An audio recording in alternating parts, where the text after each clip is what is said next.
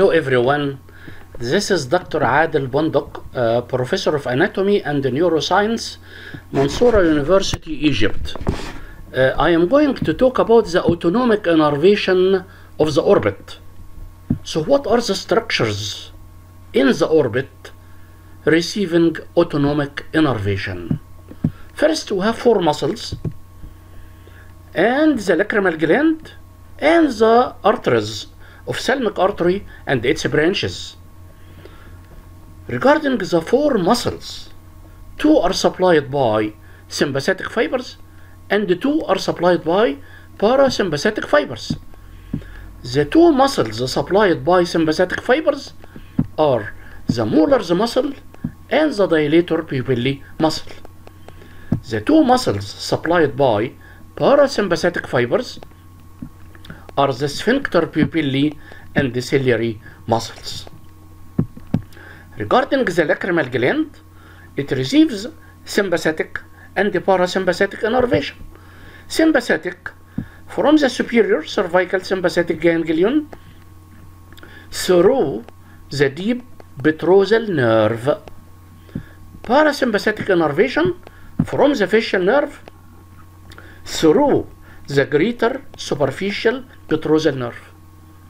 So deep petrosal nerve carries the sympathetic fibers, greater petrosal nerve carries the parasympathetic fibers to the lacrimal gland. Regarding the arteries, the blood vessels, okay, sympathetic innervation from the superior cervical sympathetic ganglion and the plexus around the internal carotid artery. So autonomic innervation of the four muscles. As I said, we have two muscles supplied by sympathetic fibers and the two muscles supplied by parasympathetic fibers.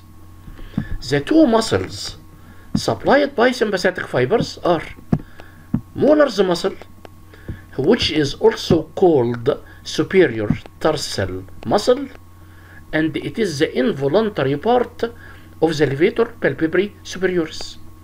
The second one is the dilator pupillae muscle. The two muscles supplied by the parasympathetic fibers are the sphincter pupillae muscle and the ciliary muscle. How the sympathetic fibers reach these two muscles and how the parasympathetic fibers reach these two muscles. So how the sympathetic fibers reach the Muller's muscle and the dilator pupillae muscle. Remember the cavernous sinus and remember the lateral wall of the cavernous sinus. The lateral wall of the cavernous sinus contains oculomotor nerve and ophthalmic nerve. And remember the cavity of the cavernous sinus. It contains the internal carotid artery and the sympathetic plexus around the internal carotid artery. So how the sympathetic fibers reach Muller's muscle? Okay, so start by superior cervical sympathetic ganglion, then plexus around the internal carotid artery in the cavernous sinus. Some fibers join the oculomotor nerve in the lateral wall of the cavernous sinus, then branch to the elevator palpebrae superioris to supply Muller's muscle. So how the fibers reach Muller's muscle? Superior cervical sympathetic ganglion, plexus around the internal carotid artery, fibers join the oculomotor nerve in the lateral wall of the cavernous sinus, branch to the levator palpebrae superioris to the Muller's muscle. Okay, how about the dilator pupillae muscle? Again, same. Superior cervical sympathetic ganglion, plexus around the internal carotid artery. Some fibers join the ophthalmic nerve in the lateral wall of the cavernous sinus. Nasociliary nerve, long ciliary nerves supply the dilator pupillae muscle. So, the sympathetic fibers to the dilator pupillae muscle start from superior cervical sympathetic ganglion, plexus around the internal carotid artery, fibers join the ophthalmic nerve in the lateral wall of the cavernous sinus, then nasociliary nerve, then long ciliary nerves, and supply the dilator pupillae muscle. How about lesion in the sympathetic innervation? Lesion in the sympathetic innervation, whether preganglionic or postganglionic fibers will lead to Horner's syndrome. Horner's syndrome is paralysis of the muscles supplied by sympathetic fibers. What are these structures? Okay, Muller's muscle. Muller's muscle will lead to incomplete ptosis. Dilator pupillae muscle will lead to miosis, constriction of the pupil. Sweat glands will lead to anhidrosis. Blood vessels will lead to vasodilation of the blood vessels. So, Uh, lesion in the sympathetic innervation will lead to paralysis of Muller's muscle, causing ptosis, dilator pupillae muscle, causing miosis, sweat glands causing anhidrosis, absence or loss of sweating, and the blood vessels vasodilation. So what are the five signs of Horner's syndrome? Of course, the first one is incomplete ptosis. And the incomplete ptosis is due to paralysis of Muller's muscle. Second one is miosis. Miosis constriction of the pupil due to paralysis of the dilator pupillae. Anhidrosis, absence or decreased or loss of sweating due to paralysis of the sweat glands. Okay, in of enophthalmos, sunken eye, and the flushing of the face due to vasodilation of the blood vessels. This is right Horner's syndrome, and this is left Horner's syndrome. And as you see, incomplete ptosis and miosis plus anhidrosis and the sunken eye in of enophthalmos. How about the parasympathetic fibers? How they reach the two muscles? What are these two muscles? Sphincter pupillae and the ciliary muscle. Remember the oculomotor nerve. So the nucleus, Edinger-Westphal nucleus in the midbrain, oculomotor nerve, fibers join the inferior division, then nerve to the inferior oblique, fibers synapse in the ciliary ganglion, short ciliary nerves from the ciliary ganglion supply the sphincter pupillae and ciliary muscle. So how the parasympathetic fibers reach the sphincter pupillae and ciliary muscle? Start by the nucleus, Edinger-Westphal nucleus in the midbrain, then the nerve, oculomotor nerve, then the inferior division, nerve to the inferior oblique, synapse in the ciliary ganglion, short ciliary nerves supply the sphincter pupillae and the ciliary muscle. What is the effect of a lesion in the parasympathetic fibers? Of course, lesion in the parasympathetic fibers will lead to paralysis of the sphincter pupillae and the ciliary muscle. Paralysis of the sphincter pupillae will lead to mydriasis, dilated pupil, and the loss of light reflex. To paralysis of the parasympathetic fibers in the oculomotor nerve will lead to mydriasis, dilated pupil, and the loss of light reflex due to paralysis of the sphincter pupillae muscle. Now let us talk about the ciliary ganglion, parasympathetic ganglion. Ciliary ganglion is parasympathetic ganglion. What should you know as about the ciliary ganglion? Where is it? What is the location? What are the roots? What are the branches? So location. Location. This is the optic nerve and this is the lateral rectus muscle. It lies between the optic nerve and the lateral rectus muscle. So the ciliary ganglion is lateral to the optic nerve and is medial to the lateral rectus. How about the roots? it has three roots one sensory one parasympathetic and one sympathetic so the sensory root this is the sensory root from the nasociliary nerve then parasympathetic root okay from the oculomotor nerve through the nerve to the inferior oblique. It synapses in the ganglion. The sensory root doesn't synapse. Then sympathetic root okay from the plexus around the internal carotid artery it doesn't synapse what are the branches and the distribution?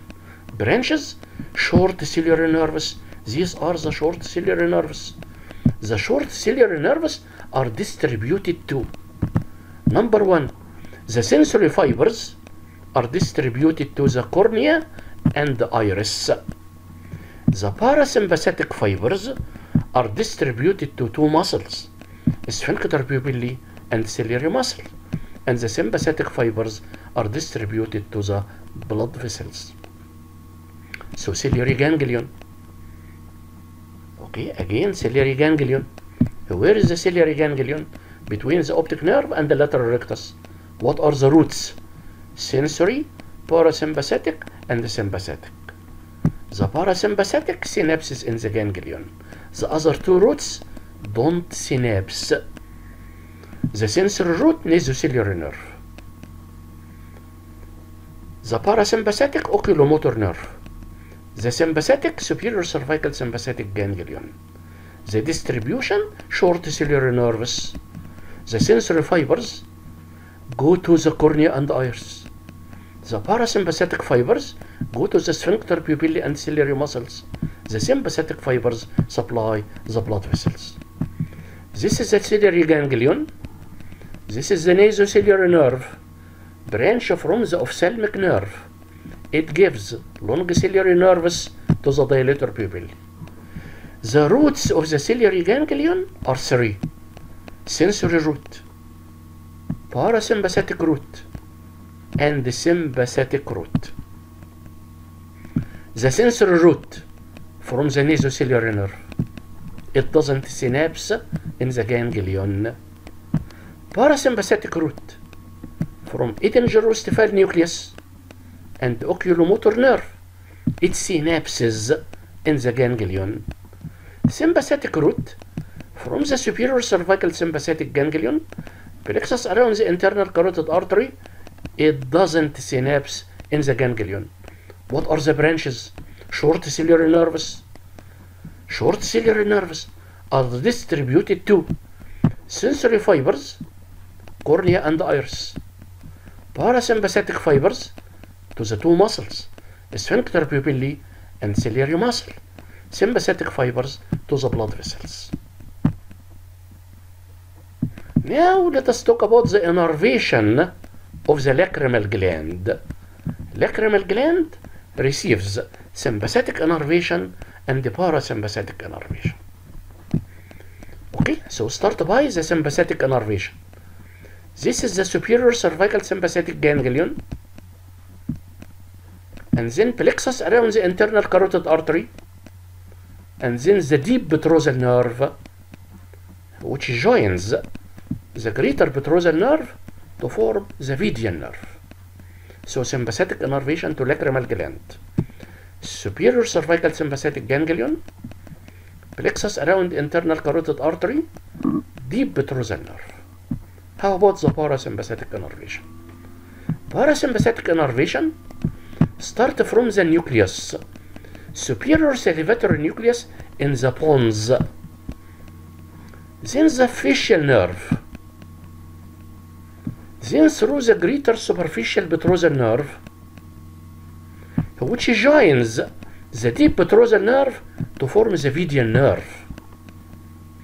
The greater superficial petrosal nerve synapses in the sphenopalatine ganglion and the other name is pterygopalatine ganglion so superior salivatory nucleus facial nerve greater superficial petrosal nerve vidian nerve sphenopalatine or pterygopalatine ganglion. The postganglionic fibers enter the maxillary nerve and from the maxillary nerve fibers enter the zygomatic branch to the zygomatic temporal nerve and through a communication with the lacrimal nerve to the lacrimal gland. So again, what is the route? What is the pathway of the sympathetic and the parasympathetic fibers to the lacrimal gland? Sympathetic. Superior cervical sympathetic ganglion, plexus around the internal carotid artery, deep petrosal nerve. Parasympathetic. Superior salivatory nucleus in the pons, facial nerve, greater superficial petrosal nerve, median nerve, sphenopalatine ganglion, maxillary nerve, zygomatic nerve, zygomatic temporal nerve, and then lacrimal nerve to the lacrimal gland. Now a summary, summary about autonomic innervation of the orbit. We have two types of fibers, parasympathetic fibers and sympathetic fibers. Parasympathetic fibers run in two cranial nerves, oculomotor nerve and facial nerve. Oculomotor nerve to, to two muscles, oculomotor nerve, nerve to the inferior oblique, ciliary ganglion, short ciliary nerves, sphincter pupillae, and ciliary muscle. Facial nerve, greater superficial petrosal nerve, sphenopalatine ganglion, lacrimal gland. So the parasympathetic fibers are distributed through the oculomotor nerve to the sphincter pupillae and ciliary muscle, and through the facial nerve and its branch, greater superficial petrosal nerve, to the lacrimal gland. About the sympathetic fibers?